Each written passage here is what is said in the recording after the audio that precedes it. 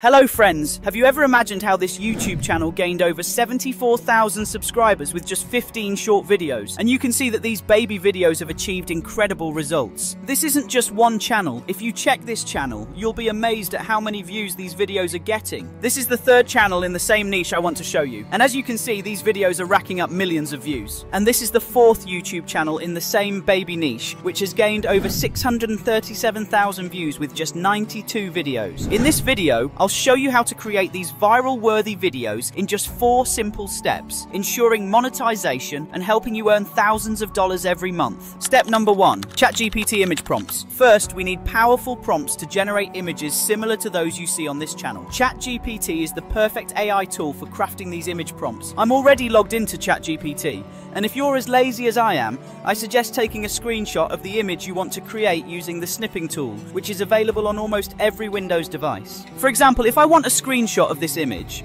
I'll search for the snipping tool, click on New, take the screenshot and save it to my desktop. After that, I'll go to ChatGPT and upload the screenshot I saved on my desktop. Once the screenshot is uploaded, I'll provide some key information to ChatGPT to ensure it generates the response exactly as we expect. I submitted the screenshot along with the key information and ChatGPT successfully generated the detailed prompt as expected. But I've prepared my own prompts and I'll use them to generate the images. I'll share all these prompts in the comments section so you can practice creating your own. Now that we have all the prompts ready, step 2 is text to image. I'll be using two of the most advanced and free text to image AI tools, Ideogram and Leonardo AI, to compare their results. After testing many text to image AI tools, I found these two deliver the most realistic outcomes. Now I'll copy the first prompt and head over to Ideogram AI. I'm already logged in and now I'll paste the prompt here. In the aspect ratio, I'll choose 916, which is perfect for YouTube, TikTok, and Instagram. After that, I'll select the realistic mode to generate the most lifelike images, and then I'll click on the generate button to start generating the images. It will take some time to generate the images, so meanwhile I'll head over to Leonardo AI. I'm already logged into Leonardo AI, which offers 150 free credits daily to all users for generating images. After logging in, click on the image creation button. Now click on model or preset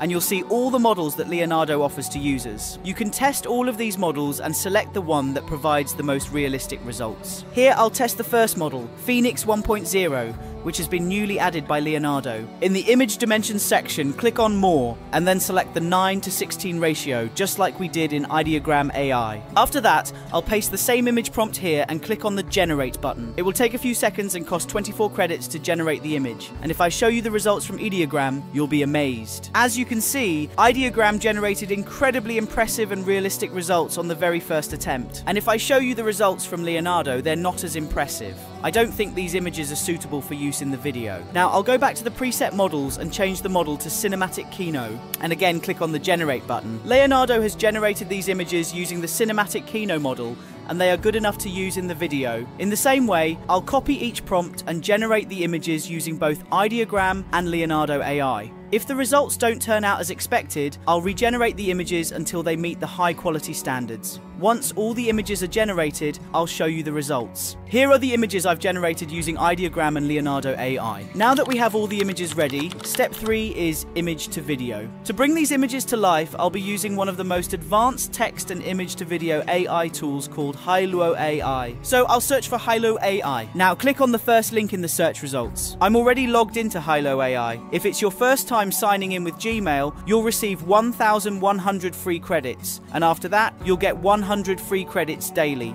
After logging in, click on the Try Now button. Now we have three options image to video, text to video, and subject reference. Since we already have the images, I'll select the image to video option. After that, click on the Upload Image button to upload the image. Now I'll select the image I want to bring to life. After that, I'll add some keywords here to guide the AI. Make sure to select the i2v-01 model and set the quantity to 1. Then click on the generate button. It will cost 30 credits and take some time to generate the video. The best part of this AI tool is that you can submit up to three tasks at a time. So I'll submit three images, and the tool will generate the videos one by one. You may receive this warning message when using these images because the AI might consider them inappropriate. In that case, you can modify the keywords or use a different image to generate the video. In the same way, I'll upload each image, add relevant keywords, and generate the video. If the video doesn't turn out as expected, I'll regenerate it until it meets the desired quality. These are the videos I generated with Hailuo AI using the images. Since we have the videos ready, the step 4 is CapCut video editing. You can use any editor, but make sure to follow the exact steps I'm demonstrating on CapCut. I've opened CapCut and imported the video files. After that, I'll add each video file to the timeline. Now, I'll crop each video file to make the main characters appear clearer. After that, I'll remove the unnecessary parts from each video. Next, I'll add transitions for incredible results. The next step is to add sound effects or a music track, but I'll add sound effects because they will make the results feel more realistic. To add sound effects, I'll search for Pixabay sound effects. Pixabay is a great source for copyright-free footage, images, music, and sound effects. Now in Pixabay, I'll search for children laughing. Here, you can test all of these sound effects and choose the best one that suits your needs, but I'll choose this one because it suits our video better. I imported the sound effect to CapCut and then added it to the timeline. After that, I'll remove the unnecessary parts of the sound effects and the video will be ready. I'll export the video to my desktop and show you the results once it's exported. But before showing the final results, I have some great news to share. I'll leave a link to my free WhatsApp group where you can discuss any problems you're facing with YouTube automation or other social media platforms. I'll solve them as soon as possible and it will be 100% free of cost. As you can see, people are sharing their problems and they're benefiting from the solutions provided here. Now, let's check the final results.